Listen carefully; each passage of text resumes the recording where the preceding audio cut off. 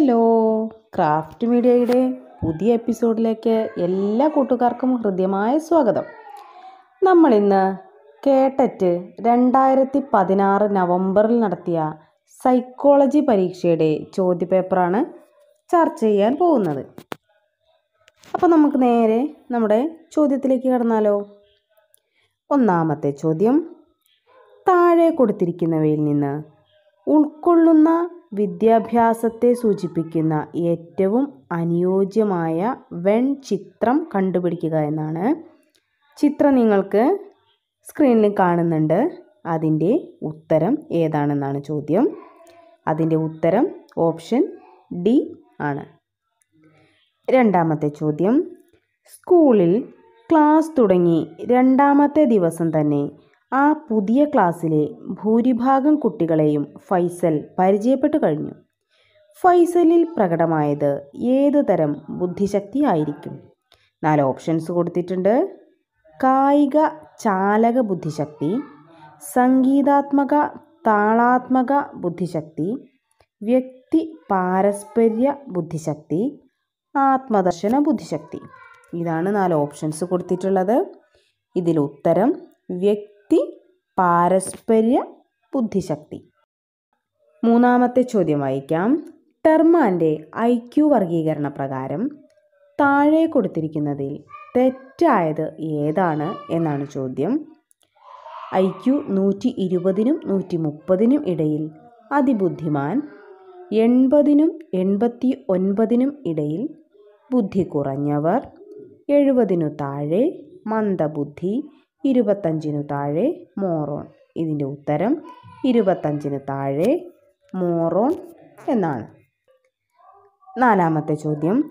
ആയിരത്തി തൊള്ളായിരത്തി എൺപത്തി ആറ് ജനുവരിയിൽ ജനിച്ച സതീഷിന്റെ മാനസിക വയസ്സ് മുപ്പതായാൽ അദ്ദേഹത്തിന്റെ ഇപ്പോഴത്തെ ഐ ക്യു എത്ര എന്നതാണ് ചോദ്യം. ഓപ്ഷൻസ് നൂറ് അറുപത് നൂറ്റി മുപ്പത് തൊണ്ണൂറ് ശരിയുത്തരം നൂറ് ആണ്. അഞ്ചാമത്തെ ചോദ്യം.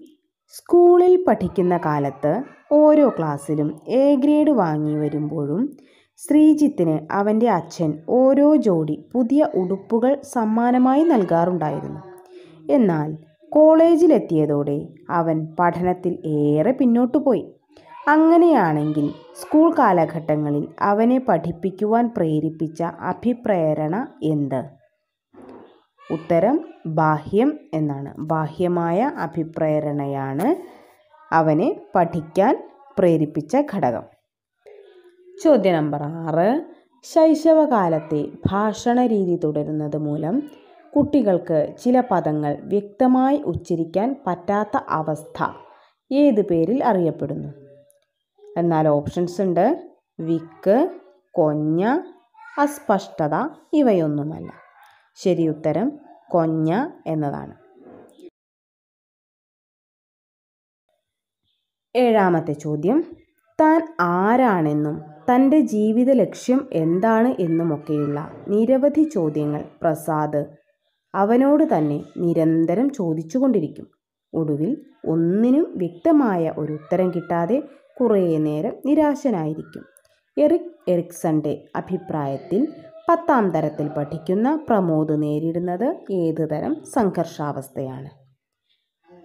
അതിന്റെ ഉത്തരം സ്വത്വ സ്ഥാപനം സ്വത്വ പ്രതിസന്ധി എന്നതാണ്. ചോദ്യം നമ്പർ എട്ട്. ജീവിതം ആരംഭിച്ച സമയം തൊട്ട് ഒരു വ്യക്തിയുടെ മേൽ പ്ര പ്രതിപ്രവർത്തിച്ചിട്ടുള്ള എല്ലാ ബാഹ്യ ഘടകങ്ങളും ചേർന്നതാണ്.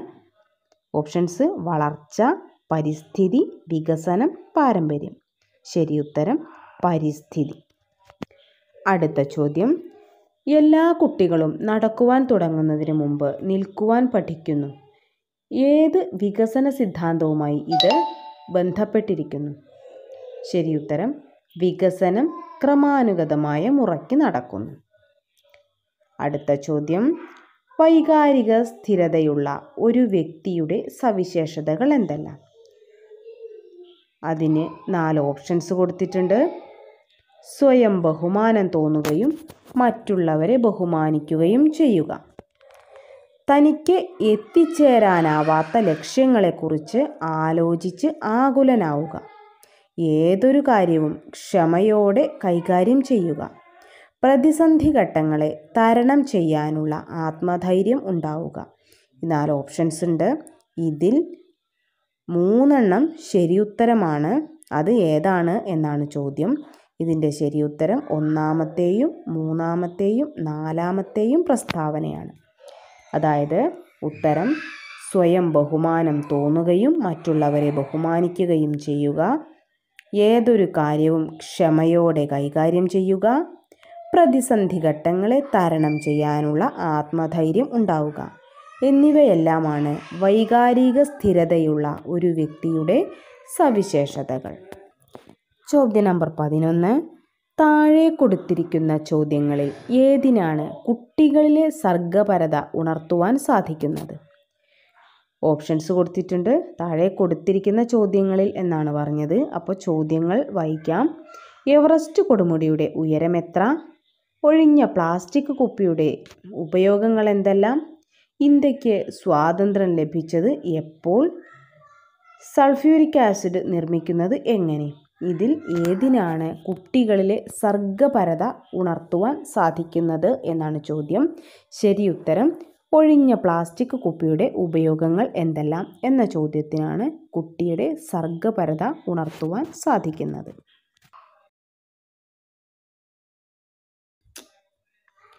ഒന്നാം ക്ലാസ്സിൽ പഠിക്കുമ്പോഴുണ്ടായ ഒരു അനുഭവം ഓർക്കാൻ ശ്രമിക്കുന്ന സുമേഷ് ആശ്രയിക്കുന്നത് ഏത് തരം ഓർമ്മയെയാണ്?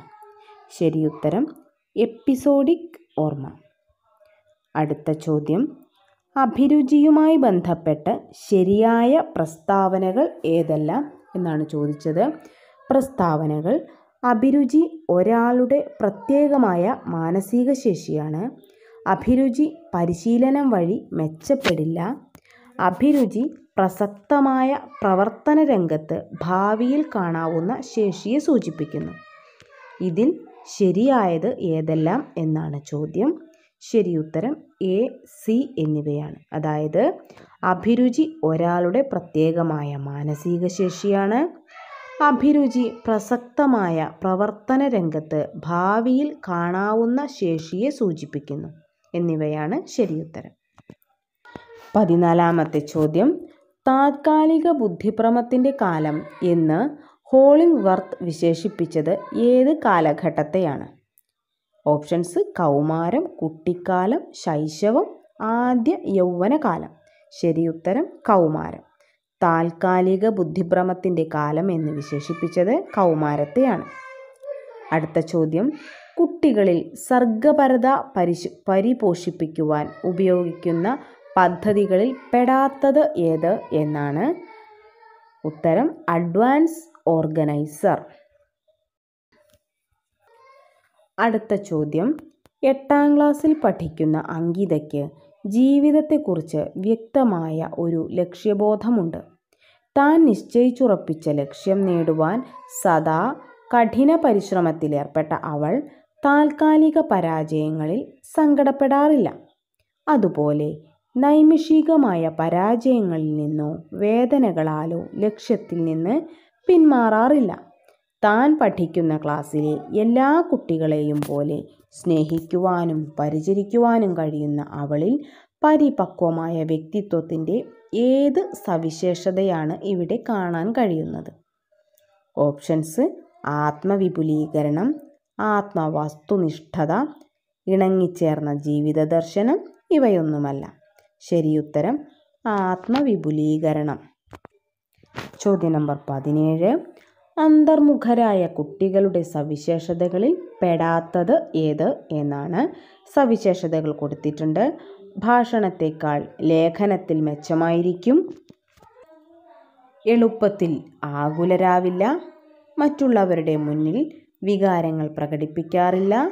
ദിവാസ്വപ്നങ്ങളിൽ മുഴുകിക്കളയുന്നു. ഇതിലേതാണ് അന്തർമുഖരായ കുട്ടികളുടെ സവിശേഷതകളിൽ പെടാത്തത് എന്നാണ് ചോദ്യം. അതിന്റെ ശരിയുത്തരം എളുപ്പത്തിൽ ആകുലരാകാറില്ല. അടുത്ത ചോദ്യം ഡിസ്പ്രാക്സിയ എന്ന പഠന വൈകല്യത്തിന്റെ ലക്ഷണം എന്ത് എന്നാണ് ചോദ്യം. ഓപ്ഷൻസ് ഭാഷാ പഠനത്തിലുള്ള ബുദ്ധിമുട്ട് അക്ഷരങ്ങളുടെ രൂപം കുഴപ്പിക്കുക. ശരീരാവയവങ്ങളുടെ ചലനങ്ങളെ ഫലപ്രദമായി ഏകോപിപ്പിക്കാൻ പറ്റാതെ വരിക. ഗണിതപരമായ പ്രവർത്തനങ്ങളിൽ നേരിടുന്ന ബുദ്ധിമുട്ട്. ഇതിലേതാണ് ഡിസ്പ്രാക്സിയ എന്ന പഠന വൈകല്യത്തിന്റെ ലക്ഷണം എന്നാണ് ചോദ്യം. ശരിയുത്തരം ശരീരാവയവങ്ങളുടെ ചലനങ്ങളെ ഫലപ്രദമായി ഏകോപിപ്പിക്കാൻ പറ്റാതെ വരിക. അടുത്ത ചോദ്യം പിയാഷയുടെ അഭിപ്രായത്തിൽ കുട്ടികളിൽ ക്രമീകരണം എന്ന ശേഷി വികസിക്കുവാൻ വേണ്ടിവരുന്ന ഇതര ശേഷികൾ ഏതാണ്? ഓപ്ഷൻസ് പ്രത്യാവർത്തന ശേഷി വസ്തുനിഷ്ഠത പരിപാലനം മുകളിലുള്ളവയെല്ലാം. ഉത്തരം മുകളിലുള്ളവ എല്ലാം എന്നതാണ്. ചോദ്യ നമ്പർ ഇരുപത്. ബുദ്ധിശോധകങ്ങൾ വഴി അളക്കുവാൻ സാധിക്കാത്തത് ഏത് എന്നാണ്. ഓപ്ഷൻസ് സദൃശബന്ധങ്ങൾ കാണാനുള്ള കഴിവ് വർഗീകരണം ചെയ്യാനുള്ള ശേഷി അഭിരുചി പ്രശ്ന നിർദ്ധാരണ ശേഷി. ബുദ്ധിശോധകങ്ങൾ വഴി അളക്കുവാൻ സാധിക്കാത്തത് ഏത് എന്നാണ് ചോദ്യം. ശരിയുത്തരം അഭിരുചി. ചോദ്യ നമ്പർ ഇരുപത്തിയൊന്ന്. ഡിഗ്രി പഠനത്തിനു ശേഷം ബി എഡിന് പോകണോ അതോ പോസ്റ്റ് ഗ്രാജുവേഷൻ ചെയ്യണമോ എന്നാലോചിച്ച് വിഷമിച്ചിരിക്കുകയാണ് അഭിലാഷ്. ഇവിടെ അദ്ദേഹം അനുഭവിക്കുന്ന മാനസിക സംഘർഷം ഏത് വിഭാഗത്തിൽ പെടും എന്നതാണ്. ശരിയുത്തരം അപ്രോച്ച് അപ്രോച്ച് കോൺഫ്ലിക്റ്റ് ചോദ്യ നമ്പർ ഇരുപത്തിരണ്ട്. തനിക്കിഷ്ടപ്പെട്ട ചുരിദാർ രക്ഷിതാക്കൾ വാങ്ങിക്കൊടുക്കാത്തതിൽ മനം നൊന്ത് ഡിഗ്രി വിദ്യാർത്ഥിനിയായ ദിവ്യ ആ കടയിൽ നിന്ന് ഒരു കുട്ടിയെപ്പോലെ പൊട്ടിക്കരഞ്ഞു. ഇവിടെ ദിവ്യ സ്വീകരിച്ച പ്രതിരോധ തന്ത്രം ഏത് എന്നാണ് ചോദ്യം. ഓപ്ഷൻസ് പശ്ചാത്ഗമനം അനുപൂരണം താതാത്മീകരണം ആക്രമണം. ശരിയുത്തരം പശ്ചാത്ഗമനം. മീൻ വിൽപ്പനക്കാരന്റെ മണിയടി ശബ്ദം കേൾക്കുമ്പോൾ രാജിയുടെ വീട്ടിലെ പൂച്ച അദ്ദേഹത്തിന്റെ അടുക്കലേക്ക് ഓടിച്ചെല്ലുന്നു. ഇവിടെ പൂച്ചയിൽ ഇങ്ങനെയൊരു സ്വഭാവമാറ്റത്തിന് കാരണമായത് ഏതുതരം മുഖാന്തരമാണ്? ഉത്തരം പൗരാണികാനുബന്ധനം. ചോദ്യ നമ്പർ ഇരുപത്തിനാല്. ഫ്രോയിഡിന്റെ അഭിപ്രായത്തിൽ ഏതു കാലഘട്ടത്തിലാണ് ഈഡിപ്പസ് കോംപ്ലക്സ് ഇലക്ട്ര കോംപ്ലക്സ് എന്നിവ കണ്ടുവരുന്നത്. ഓപ്ഷൻസ് പിൽക്കാല ബാല്യം ശൈശവം കൗമാരം ആദ്യകാല ബാല്യം ശരിയുത്തരം ആദ്യകാല ബാല്യം ചോദ്യ നമ്പർ ഇരുപത്തിയഞ്ച്. ഭാഷയുമായി ബന്ധപ്പെട്ട പ്രവർത്തനങ്ങളെ നിയന്ത്രിക്കുകയും ഏകോപിപ്പിക്കുകയും ചെയ്യുന്ന തലച്ചോറിന്റെ ഭാഗം ഏതു പേരിൽ അറിയപ്പെടുന്നു? ഓപ്ഷൻസ് ചോംസ്കി മേഖല ബ്രോക്ക മേഖല വെർണിക് മേഖല സെറിബെല്ലം. ശരിയുത്തരം ബ്രോക്ക മേഖല. ചോദ്യ നമ്പർ ഇരുപത്തിയാറ് സംഘബന്ധ പൂർവകാലം എന്ന് മനഃശാസ്ത്രജ്ഞർ വിളിക്കുന്നത് ഏത് കാലഘട്ടത്തെയാണ്? സംഘബന്ധ പൂർവകാലം എന്ന് വിളിക്കുന്നത്. അതിന്റെ ഓപ്ഷൻസ് ശൈശവം പിൽക്കാല ബാല്യം ആദ്യകാല ബാല്യം മധ്യകാല ബാല്യം ശരിയുത്തരം ആദ്യകാല ബാല്യം. അടുത്ത ചോദ്യം. ക്ലാസ്സിലെ ഒരു കുട്ടിയുടെ വ്യക്തിത്വത്തിന്റെ സവിശേഷത മനസ്സിലാക്കുവാനായി മിനി ടീച്ചർ തീരുമാനിച്ചു. ഇതിനായി കുട്ടിയെ തന്റെ മുന്നിൽ വിളിച്ചിരുത്തി ടീച്ചർ ഓരോ വാക്കുകൾ പറയാൻ തുടങ്ങി. ഓരോ വാക്ക് കേൾക്കുമ്പോഴും അവന്റെ അല്ലെങ്കിൽ അവളുടെ മനസ്സിലേക്ക് അപ്പോൾ വരുന്ന അതുമായി ബന്ധപ്പെട്ട വാക്കുകൾ ഒരു പേപ്പറിൽ എഴുതുവാൻ ആവശ്യപ്പെട്ടു. ഇവിടെ മിനി ടീച്ചർ ഉപയോഗിച്ച രീതി ഏതാണ്? ശരി ഉത്തരം വേർഡ് അസോസിയേഷൻ ടെസ്റ്റ്. അടുത്ത ചോദ്യം പിയാഷയുടെ വൈജ്ഞാനിക വികസന ഘട്ടത്തിൽ പെടാത്തത് ഏത്? എന്നാണ് ചോദ്യം. അതിന്റെ ഓപ്ഷൻസ് ഐന്ദ്രിക ചാലക ഘട്ടം ആശയധാന പൂർവഘട്ടം ഉദഹനഘട്ടം ബിംബനഘട്ടം ശരിയുത്തരം ബിംബനഘട്ടം. അടുത്ത ചോദ്യം. രക്ഷിതാക്കളിൽ നിന്നുള്ള ശിക്ഷയെ ഭയന്ന് കുട്ടികൾ നല്ല രീതിയിൽ പെരുമാറാറുണ്ട്. കോൾബർഗിന്റെ സന്മാർഗിക വികസന ഘട്ടത്തിലെ ഏത് കാലഘട്ടത്തിലാണ് കുട്ടികൾ ഇങ്ങനെ പെരുമാറുന്നത്? ശരി ഉത്തരം. വ്യവസ്ഥാപിത പൂർവതലം അവസാനത്തെ ചോദ്യം. വ്യക്തി വ്യത്യാസങ്ങൾക്ക് പ്രാധാന്യം നൽകുന്ന ഒരു അധ്യാപകൻ അല്ലെങ്കിൽ അധ്യാപിക ഉപയോഗിക്കുവാൻ പാടില്ലാത്ത രീതി ഏത് എന്നാണ്. ഓപ്ഷൻസ് കഴിവ് അനുസരിച്ച വർഗീകരണം ചാടിക്കടക്കാനും ത്വരിതഗതിയിൽ മുന്നേറാനുമുള്ള അവസരം നൽകൽ പ്രത്യേക രീതിയിലുള്ള വ്യത്യസ്ത പഠന പരിപാടികൾ അവതരിപ്പിക്കുക ഒരേ തര രീതിയിലുള്ള ബോധന രീതി അവലംബിക്കുക. ഇതിൽ ഏതാണ് വ്യക്തി വ്യത്യാസങ്ങൾക്ക് പ്രാധാന്യം നൽകുന്ന അധ്യാപകൻ അല്ലെങ്കിൽ അധ്യാപിക ഉപയോഗിക്കുവാൻ പാടില്ലാത്ത രീതി എന്നാണ് ശരിയുത്തരം ഒരേ തര രീതിയിലുള്ള ബോധന രീതി അവലംബിക്കുക എന്നതാണ്. അപ്പോൾ ഇന്നത്തെ ചോദ്യം എല്ലാവർക്കും മനസ്സിലായി എന്ന് വിചാരിക്കുന്നു. Okay thank